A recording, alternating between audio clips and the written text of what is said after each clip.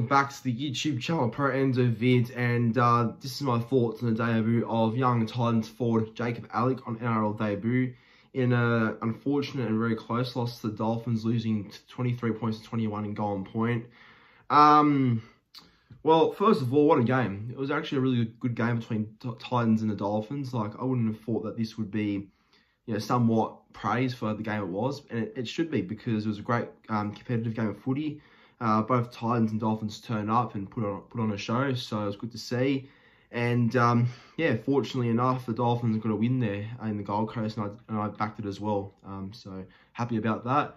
But, um, yeah, Titans were a bit, I guess, unlucky, but, you know, I think both sides deserve the point after how the game was played, but you know, Dolphins obviously were lucky ones in the end to grab that um, win, I guess, in the end. But um, yeah, but look, this is, this is mainly my thoughts on the debut of Jacob Alick, who is a PNG international who has you know played in the World Cup before last year, and um, yeah, no, it was good good to see him play his first game of NRL today. I thought he um looked dangerous when he had the ball in hand. Like he looked genuinely, genuinely looked dangerous and um, looked good on, on an edge actually. So uh, Titans are known for producing good young forwards or finding good young forwards, and I think he's one of them. So um, no, he played well despite the loss, but um, I guess there is some disappointing things that have come out of his debut. That loss, obviously, but I think he was the one that was um, unfortunately caught out for being offside uh, when uh, in, in goal point, Isaako was going for the field goal and, and missed the field goal. But uh, the thing was,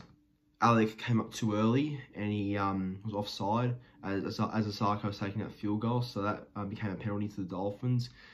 So, I, yeah, I do feel for him because, you know, he was one that was caught out for being offside. And that's obviously really tough on debut to cop that. But look, it's his first first game of footy. I don't, I, like if, if people roast him for that, then they're stupid because he's a young kid and that's his first game of footy. So I'm sure many good moments will come across across his career. Um, you know, anyway, so that, that one moment does not matter. But the main thing was he made his debut, and that's all that should really matter in the end. Um, again, close game, could have gone either way, so I wouldn't take too, too much out of it. But um, yeah, it's an unfortunate mistake to make, but he'll get better over time. It's no bother. But um, no, look, other than that, he played well. I, I think he did a job, and I think um, the interim coach Jimmy Lenihan should be happy with uh, how he went on debut. So um, honestly, well done to Jacob Alick on debut. Hopefully, the first game any for him in first grade, which it should be, and um, yeah, no, another proud moment for another um, Kumul who has debuted this week because Daniel Russell is also a um, PNG representative as well that debuted during round 19, and now same with um, Jacob Alick who plays first game of first grade today. But um, that's my thoughts on the debut of Jacob Alick. Um, thanks for watching. Make sure to like the video, subscribe to the YouTube channel, and comment your thoughts on the game and, and his debut. See you in the next one.